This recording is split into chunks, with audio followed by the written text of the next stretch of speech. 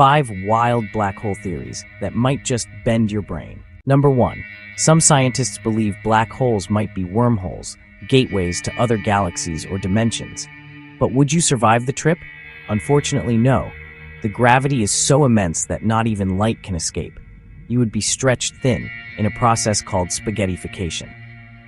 Number two, one multiverse theory suggests the Big Bang itself was caused by a black hole from another universe collapsing, meaning our universe could be just a cosmic side effect of an everlasting cycle of black holes collapsing and expanding to create new realities.